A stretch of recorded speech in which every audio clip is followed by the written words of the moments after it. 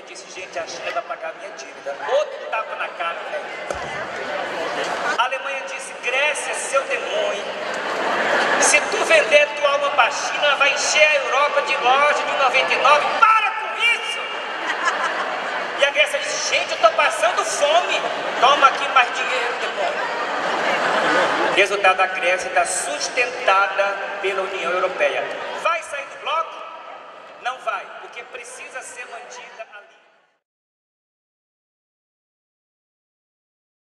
Que história é essa? Estado nasceu a partir de que grupo terrorista? Bocado.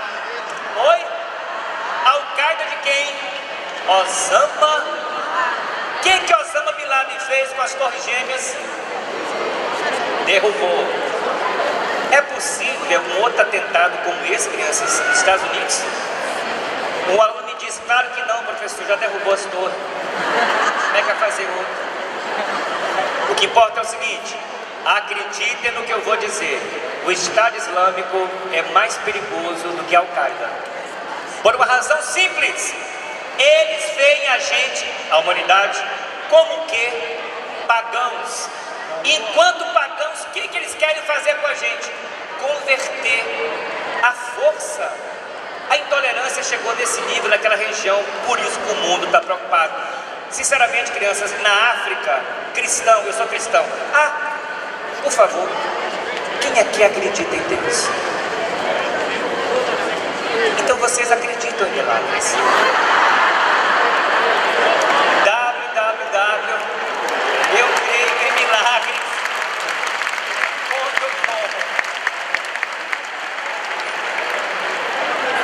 O Estado Islâmico não acredita em milagres, sabe por quê? Porque o milagre é ele, na cabeça dele. Sinceramente, se eu tivesse na África, eu cristão, e um muçulmano radical desse botasse uma espada no meu pescoço e dissesse para mim, converta, sabe o que, é que eu diria? Sinceramente, demorou. Eu vou perder minha cabeça por religião, gente? Vamos conversar com esse povo. Como é que conversa se eles cortam as cabeças da gente? A gente vai conversar por onde? Não responda. Tenho até medo. Só uma coisa rápida, eu acho que não dá mais tempo que a prova do Enem está pronta. Mas quem achava que deveria dar um pipoco no Estado Islâmico, quem era? Estados Unidos. Quem é que está dando? Nesse momento, agora, a Rússia. E acreditem, é muito pior, crianças. Estados Unidos tem aquele discurso hipócrita: não vamos jogar bomba porque pode matar inocente. A Rússia faz assim: mata, depois separa. Oh meu Deus, inocente. Hoje, hoje, tchau. Oh meu Deus, dois inocentes. Oh Jesus, uma criança. Oi, terrorista. Rápido. O Brasil pode ser alvo de um atentado terrorista? Está todo mundo perguntando isso para mim. Porque o ano que vem tem o que no Brasil? Olimpíada. Vai juntar gente de que lugar do mundo? Já pensou, gente? Não, não vamos pensar porque a gente não tem nada a ver com isso. O Brasil não mexe com ninguém. E fora que seria uma covardia receber um atentado, porque as Olimpíadas vão acontecer na época do São João. De repente nós está aqui lá fora, pá, pipoca uma bomba, a gente grita, viva São João! Quando sai, olha o tanto de discípulos deles. Isso não vai acontecer. Eu acho que não. Crianças, coisa rápida. Intolerância religiosa é uma das chaves para mostrar o quanto subdesenvolvida culturalmente é uma nação. Quanto mais a gente se educa, acreditem, menos a gente precisa de religião. Eu não estou aqui querendo descaracterizar a fé de ninguém, mas eu acho que o correto é dizer: quanto mais a gente se educa, mais a gente respeita a fé do outro, até a fé de quem não tem fé.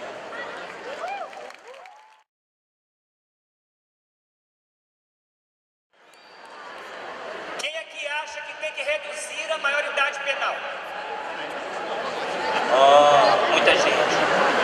Quem aqui tem 16 anos? Muito bem, ligou a luz, adorei. Quem aqui já cometeu algum delito? Gente, que é isso? Teve gente ali que gritou e saltou. Quieta, velho. Isso é sério, velho? Ok, pequenos delitos, não acredito. Crianças, pegar essas crianças, 14, 15, 16, 16 anos, e prender junto com o bandido, resolve a questão? De jeito nenhum. Vou fazer, eu estou me sentindo tão íntimo de vocês, é sério. Eu estou me sentindo em casa. Ei, casa grande, pô. Quem aqui seria capaz de matar alguém? Pergunta forte, né, velho? Esta é. Aí uma pessoa me disse, depende da circunstância. Da circunstância, mata ou não mata? Mas por que, que a gente não faz isso gratuitamente? Porque nós temos freios morais, religiosos, familiares. Essas crianças de rua têm esses freios, crianças. Então o que falta a elas é isso. Eu me lembro que aqui na Bahia uma vez teve uma greve 2000 de polícia. Greve de polícia. Até você que é uma pessoa boa, você começa a pensar em bestagem. Porque nós temos mal dentro de nós. Eu posso contar uma coisa rápida? Acho que dá tempo. Eu, tava, eu concluí meu mestrado na Argentina. E na Argentina é interessante. Hoje, gente, para com isso. Quieta, para com isso. País maravilhoso, para com isso.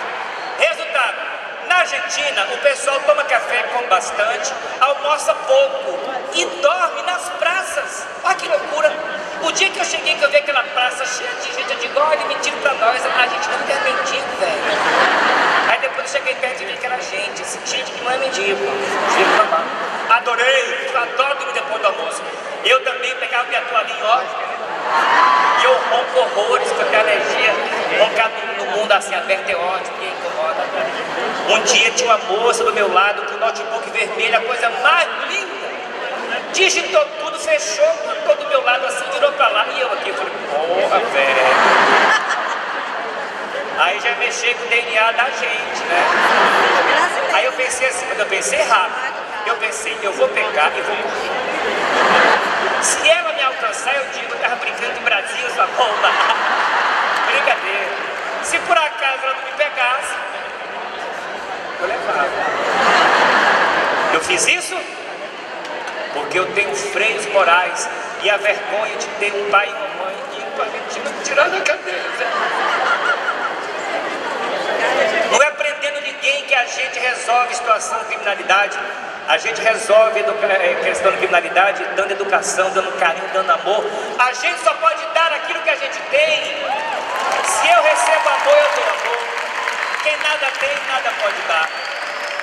Então não me vem com essa história de discurso político vazio de dizer que prendendo criança eu vou resolver a situação do Brasil. Vocês acham que o Brasil é preconceituoso? Vamos fazer uma lista de tudo que a gente não gosta em gente. Vamos lá. O que, que a gente gosta, gente? Preto, perfeito, preto. O que mais? Gordo. Nordestino. O quê? Flamenguista. Rapaz. O que mais? Hã? São Paulino. Vai ficar uma briga aqui agora. Nordestino, viado, o que mais? Pobre, arrasou, arrasou, arrasou, arrasou. Você chegou no ponto que eu queria. Eu, por exemplo, eu não ligo para as coisas que as pessoas falam de mim. Eu não gosto, não ligo, velho, não ligo. Porque isso faz eu ficar mais, entendeu? Mais conhecido. Eu andando na rua e alguém me xingando. Vai, viado, judeu, macumbeiro, pobre. Você falou o quê, filho da puta? Que aí mexeu comigo. Milton Santos, geógrafo baiano, dizia: o povo brasileiro não tem preconceito contra cor, religião, sexo, nada. Ele tem preconceito é contra o pobre. O nosso medo é ser confundido com pobre. O que tem que acabar é a pobreza. Porque quando você acaba a pobreza material, você acaba também melhorar a pobreza espiritual e mental das pessoas que vão entender uma coisa simples. Só existe uma raça, que é a raça humana. E todo mundo aqui quer o que da vida? A felicidade. Só que não dá para ser feliz sozinho. E para encerrar o tema, o Brasil está discutindo idiotamente o que é família. E teve alguém que idiotamente disse: família é só pai, mãe e filho. E vem cá, pai, pai e filho, não é família não? E mãe e filho, não é família não?